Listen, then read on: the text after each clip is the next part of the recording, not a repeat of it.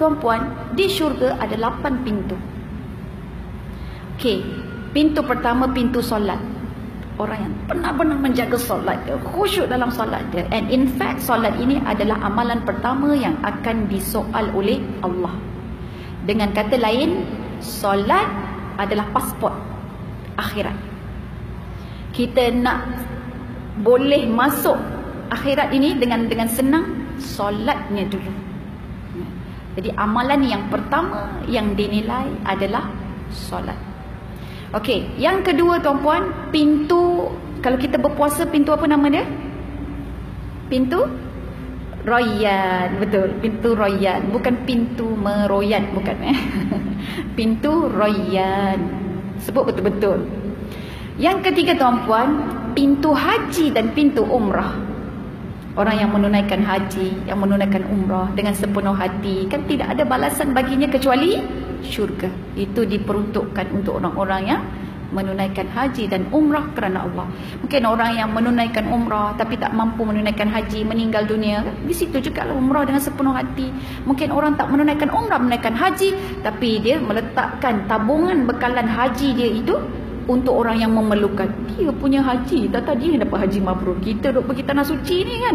Tak dapat sebab kita tak jaga. Kita punya mulut la jidala wala rafasa kan wala fusuqa semua kita tak jaga. Orang yang tak pergi haji yang dapat tuan ya, sebab dia menggunakan bekalan dan tabungan amanah untuk haji dia itu pada jalan kebaikan. Wallahu alam. Kita tak tahu. Allah itu maha adil. Yang ketiga. Yang keempat adalah pintu sedekah pintu infak, pintu orang-orang yang suka memberi, orang yang menunaikan zakat dan sebagainya tuan-puan. Yang kelima pintu para syuhada yang mati di jalan Allah. Yang keenam tuan-puan adalah pintu Aiman. Pintu Al-Aiman. Apa maksud pintu Al-Aiman? Kita kenal Aiman ni apa? Aiman. Ha, Aiman tak kisah. Tak berani nak sebut? Aiman tak kisah. Saya sebut ini supaya saya ingat apa maksud pintu tu untuk apa. Aiman tak kisah. Pintu Aiman Al-Aiman adalah pintu yang dikhususkan untuk mereka yang masuk ke syurga tanpa hisap. Tak payah hisap bab terus masuk situ.